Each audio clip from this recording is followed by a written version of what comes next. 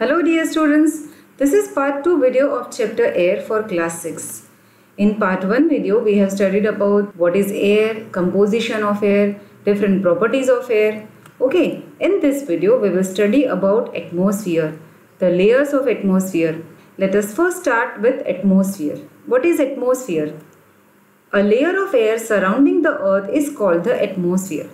अर्थ के सराउंडिंग अर्थ के चारों तरफ़ एयर का एक लेयर होता है. It is like a blanket of air है ना? That layer of air is called atmosphere it is divided into five layers troposphere stratosphere mesosphere thermosphere and exosphere troposphere is the closest to the Earth's surface, extending approximately up to 15 kilometers.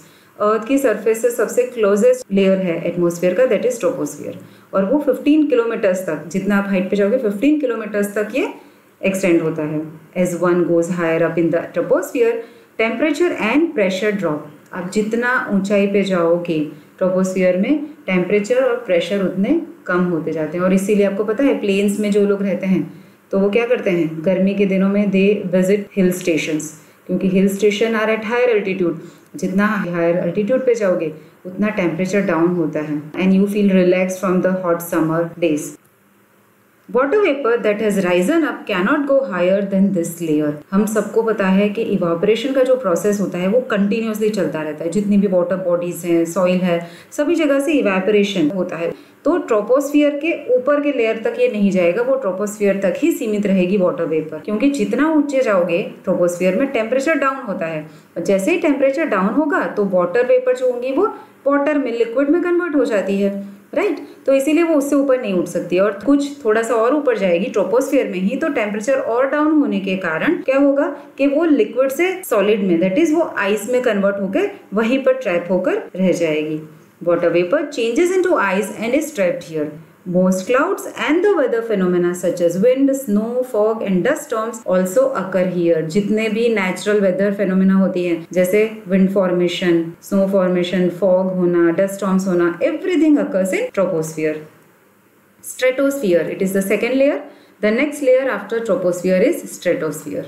It extends from 15 to 50 kilometers above the earth's surface. 15 kilometre तक troposphere है और फिर 15 से 50 kilometre तक stratosphere है this layer contains a thin layer of ozone that absorbs most of the harmful ultraviolet radiations coming from the sun आपको पता है sun rays are of different types visible rays होते हैं देन इंफ्रारेड रेज होते हैं ultraviolet rays होते हैं. तो इसमें से जो अल्ट्रावायोलेट रेज होते हैं they are very harmful for us they cause skin cancer और कई सारी प्रॉब्लम्स क्रिएट करते हैं. स्टेटोस्फियर में एक पतला सा लेयर होता है, जिसका नाम है ओजोन वो अल्ट्रावायोलेट रेडिएशंस को अर्थ तक नहीं पहुँचने देता है। इस तरह से it protects us from ultraviolet rays और ये ओजोन लेयर कहाँ मौजूद होता है? स्ट्रेटोस्फियर में। The air here is very dry and thin and so this is where jet aircraft and hot air balloon fly जो स्ट्रेटोस्फियर की एयर होती है वो काफ़ी ड्राई होती है क्योंकि यहाँ पर वाटर वेपर बहुत कम होता है बहुत कम। ज़्यादातर सारा ट्रोपोस्फियर तक ट्रैप होकर रह जाता है हमने अभी डिस्कस किया था। तो उसके ऊपर बहुत कम वाटर वेपर होता है और जिसकी वजह से बहुत कम क्लाउड्स भी होते हैं। And that is why jet aircraft और हॉट एयर बलून यहीं पर फ्लाई करते हैं। The ozone layer, again I am repeating, ozone layer protects us from the harmful ultraviolet radiations. And this ozone layer is present in stratosphere. Mesosphere. This layer extends from 50 to 80 kilometre above the earth's surface. Earth की surface से 50 kilometre तक stratosphere है और 50 से 80 तक का जो layer होता है that is mesosphere. It is known to be the coldest part of the atmosphere. Atmosphere का सबसे coldest part होता है ये. Most meteors burn up in this layer after entering the Earth's atmosphere and before reaching the Earth's surface. What are meteors? Let us discuss that. Meteors, a small body of rock or other matter from outer space. Outer space से कई बार बड़े बड़े पत्थर के टुकड़े या other matter से बने हुए पीसेस आते हैं और वो अर्थ के एटमोसफेयर में एंटर होते हैं। नाउ जब ये अर्थ के एटमोसफेयर में एंटर होंगे तो उनके बीच में फ्रिक्शन होता है। रॉक के बीच में और अर्थ के एटमोसफियर के बीच में। है ना? जब ये फ्रिक्शन होगा तो वो बर्न होंगे और इसीलिए वो प्रोड्यूस करते हैं ब्राइट लाइट जिसे हम कई बार कहते हैं टूटता तारा शूटिंग स्टार या falling star okay but that are meteors जो अर्थ के एटमोसफियर में फ्रिक्शन की वजह से जलने लगते हैं और ब्राइट लाइट प्रोड्यूस करते हैं।